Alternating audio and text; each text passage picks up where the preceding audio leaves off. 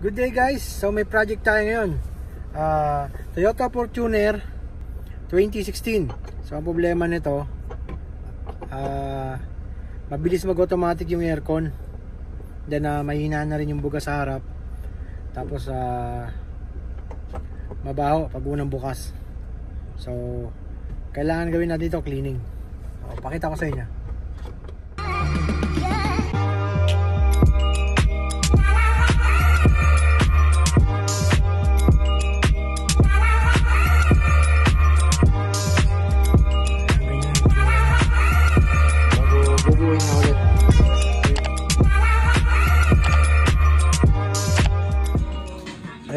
Toyota Fortuner 2016.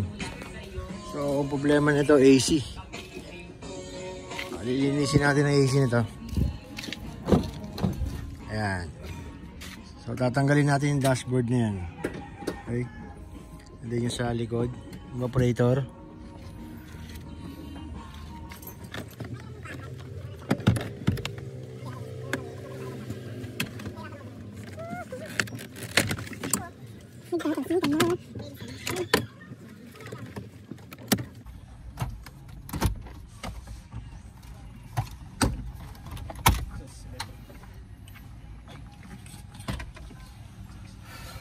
So, kailangan tanggalin yung mga dashboard.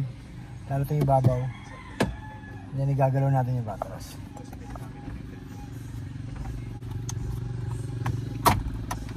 Puro, puro clip lang siya, no? Makikita nyo, yan. Puro ganyan lang yan. Kaya hila-hila lang.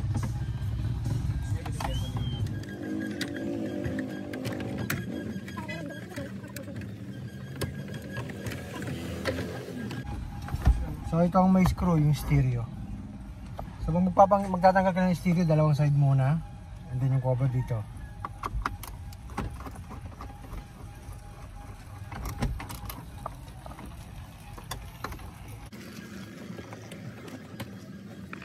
Like a virgin. Sa virgin pa yan.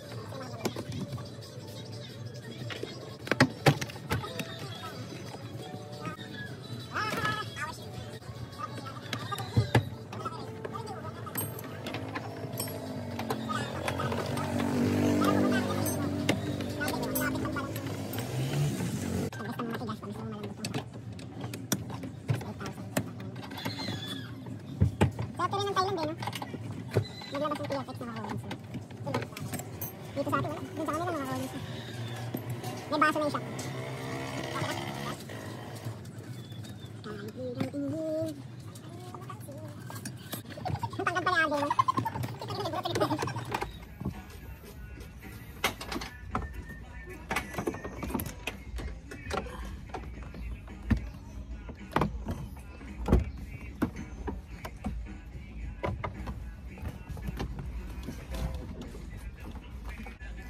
natanggal na itong tatanggalin natin.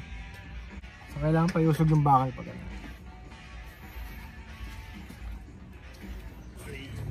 Cup. Eh,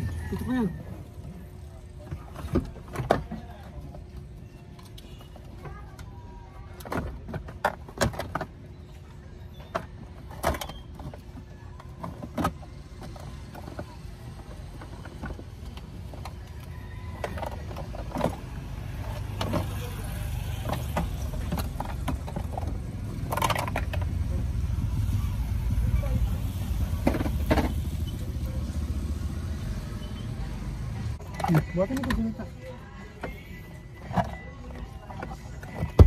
Oh. Teka lang, teka lang, teka lang.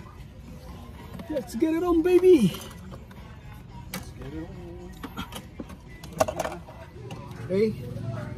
Natanggal na natin yung evaporator housing. Ito na.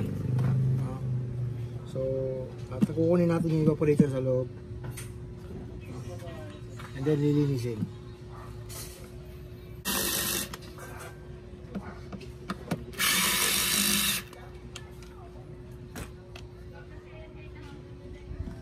Kailangan matandahin ka. Napakahirap niya tanggalin.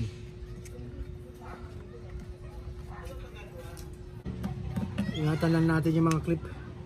Basag. Dahan-dahan lang.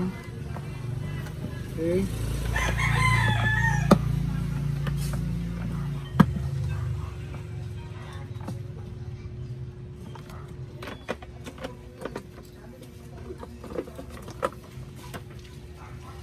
Okay, natanggal na.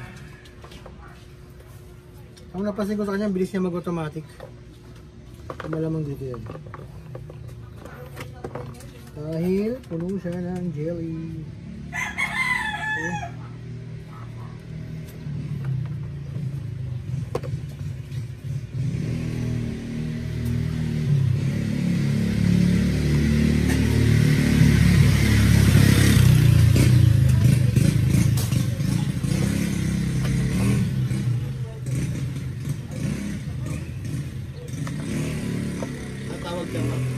Evaporator.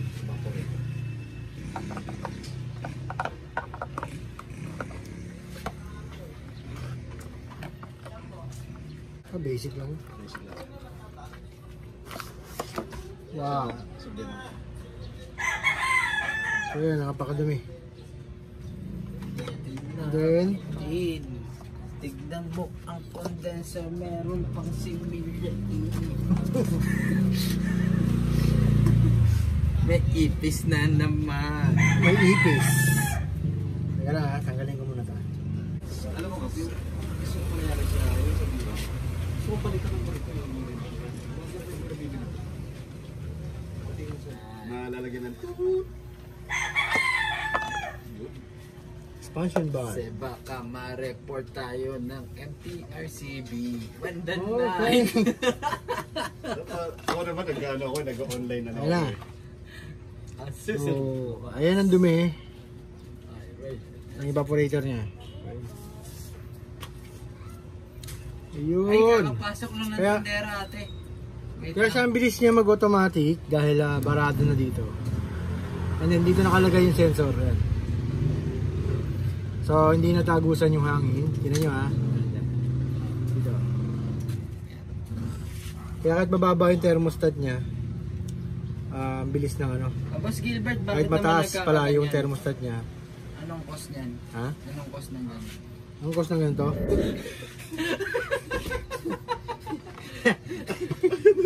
yung driver kasi.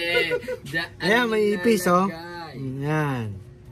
Si Tonyo. Ayan, si Tonyo saan to napupunta oh. Pero sobrang tagal na ni Tonyo, nagkabitak-bitak na. Ayan na si Tonyo. Yung sa kanya pala, yung sa kanya pala video masisendo. Kakasal talaga, pagalitan yung driver. Lahat ng video niya bastos. Ang lupit ng video mo, lahat SPG. Picture na papakita ko yun. So, pati yung video. Ulan na naman, Joey. Ang napansin ko dito, ah, ang bilis niya mag-automatic. Kaya ganun siya dahil ah, barado na.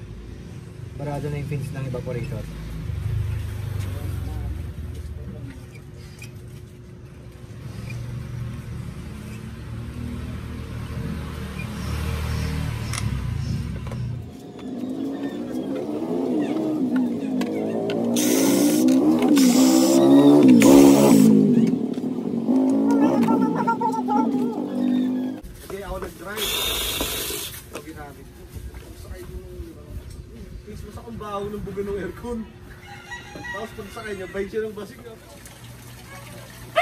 So guys, bubuhin na natin Dahil malinis na lahat.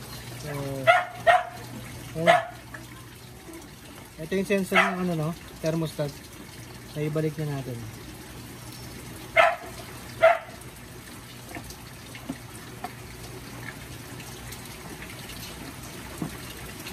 The Bluetooth device is ready to pair. So guys, ito naman sa likod. Evaporator sa likod. So nabaklas na rin. Linisin din natin yung evaporator. Okay? Oh.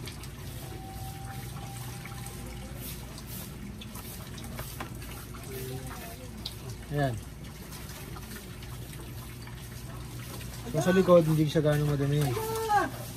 Ito na mga plastic. Ayan. Okay. Patay.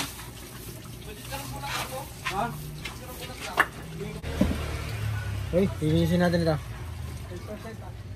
Okay, malinis na evaporator natin. Yan na. Yan yung mga housing. Ah. Masa na rin.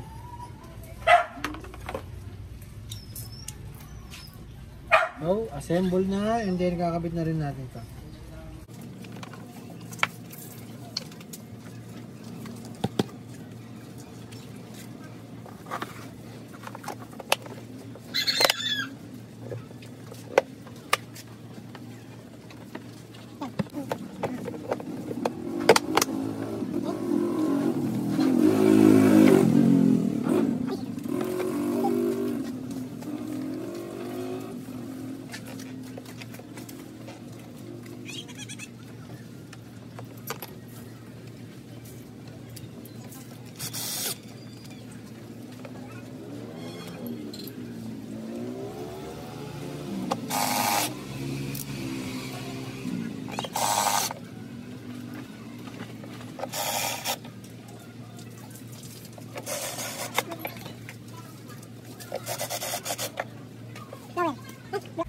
So okay na.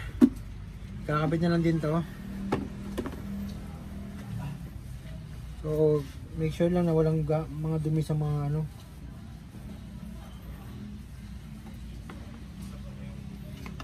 Kailangan malinis ka pag gumagawa ka ng aircon. Okay. So papalitan din natin lahat yan ng bagong o-ring. So assemble na lang tayo. Ayan guys, ah ganyan ang itsura niya pag tinanggal mo yung evaporator housing. Ah. Medyo masalimot, maraming tinatanggal. May mga tornilyo dito. Yan. Dito. Yan. Tapos doon. Saka sa gilid. Okay. Ito, kailangan mo rin na tanggalin sa bolt. Dito. And then ito. Yan yung ano. ah kabitan ng expansion valve. Ah, galing sa tubo sa labas. So, kailangan palit natin ng o-ring yan. Okay. So, ibabalik, then, eh, babalik na natin yung ano, ah, evaporator housing.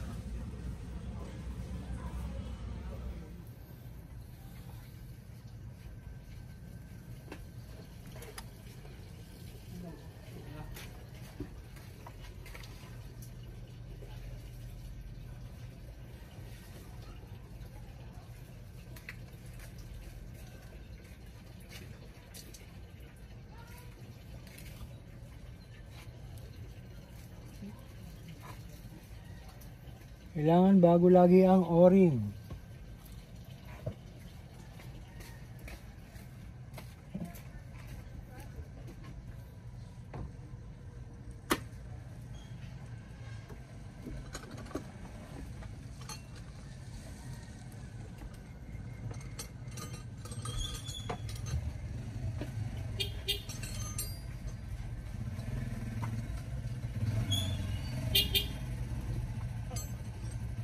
Okay.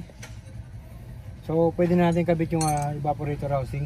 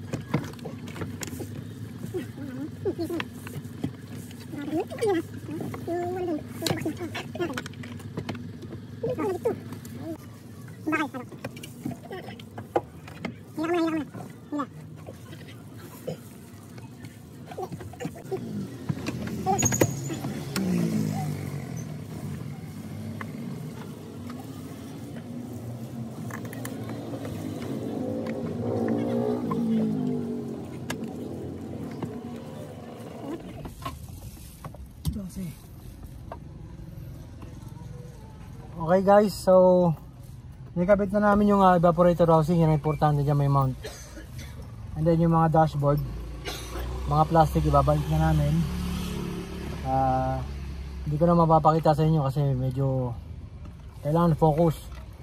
Focus ang pagtatrabaho dahil marami kami tinanggal ng mga sakit. Ayan, makita nyo. Baka kasi makalimutan namin yung ibang sakit. Eh, magtanggal pa ulit kami ng dashboard. So ganyan lang ka ganyan lang kahirap.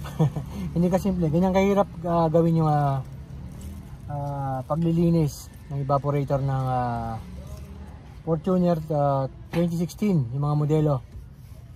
Dahil yung mga lumang modelo nito madali lang para mga Toyota Hiace lang dinudukot na sa ilalim. No? Hindi kagaya na itong mga modelo. Ah, ganyan kasalimuot yan. Napakaraming tinatanggal parang mga kotse. Okay?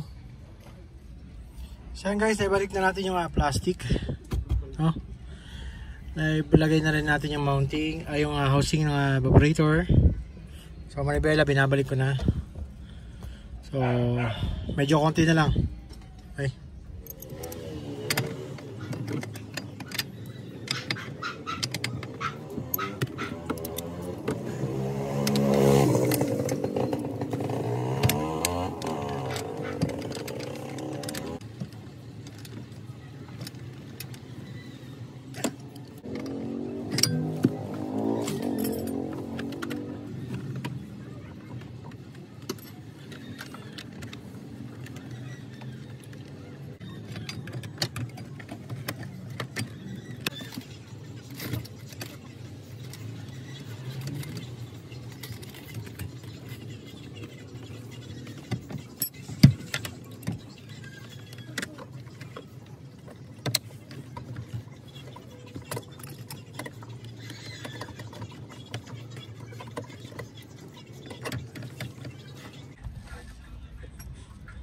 Guys, pwede ko na ikabit yung ah, sa ibabaw na part ng dashboard.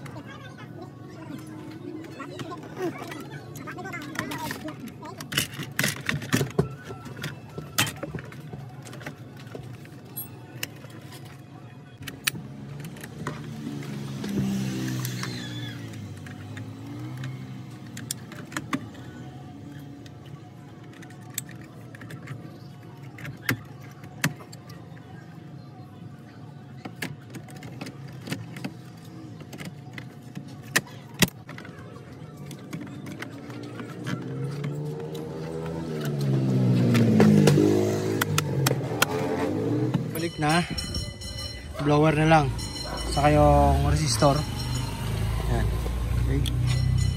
So, malapit na matapos. Sa harap. Okay. Yan. So, yung harap, kompleto na. May balik na natin yung dashboard. So, yung mga handle na lang sa gilid. Dalawa. Okay.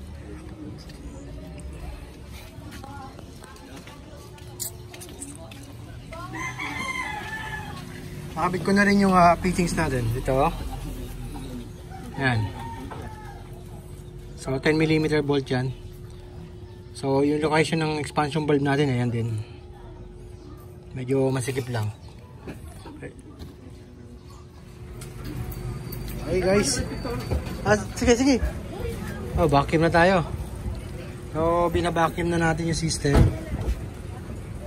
Okay, kaya malapit na. And then uh, free yung charging na tayo. Dito na. Okay, dito na lahat. Sa likod, konti na lang. Okay guys, so free yung charging na tayo.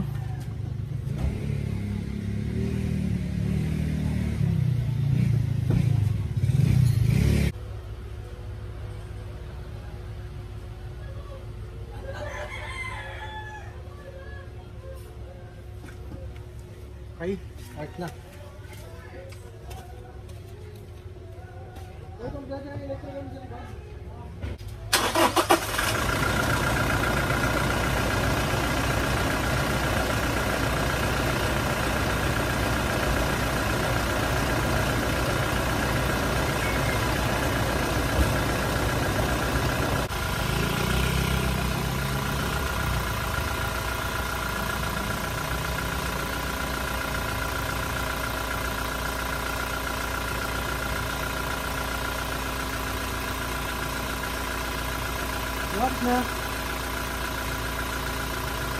So okay na guys. Check na lang natin sa loob yung lamig. So ayun. Ayan, bumalik na yung lamig niya. Okay. So ibabalance na lang natin yung harap sa, sa likod. Habang binubuo pa yung likod. So binabalik na lang yung side wings. No? Ayan. Seat belt. Yung upuan. Okay.